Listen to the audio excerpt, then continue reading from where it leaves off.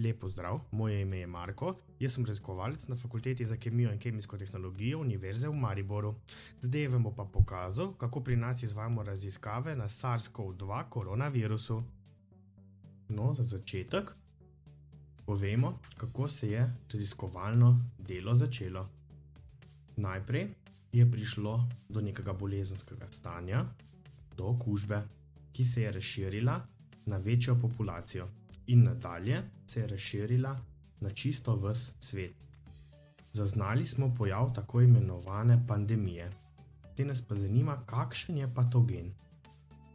Gre pa za takšen RNA virus, tle vidimo tudi najbolj znan spike protein in gre za virus iz družine koronavirusov. Tako zgleda pa virusni življenjski cikl, pri katerem smo se osredotočili na identifikacijo potencijalnih terapevtskih tarč in načrtovanje novih zdravil.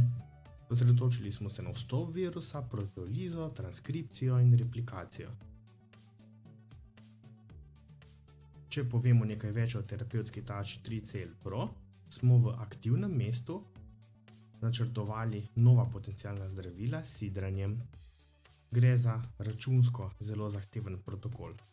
No, konkretno na našem primeru, zgleda takole protein in takole njegovo aktivno mesto.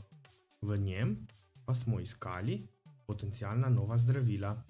Sicer bi lahko uporabili enega ali pa več osebnih računalnikov, vendar to ni najbolj primeren pristop.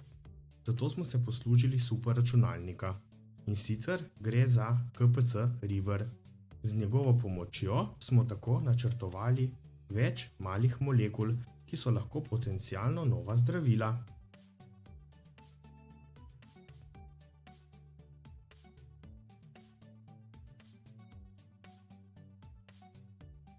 Najlepša hvala za pozornost, lep pozdrav in veliko zdravja!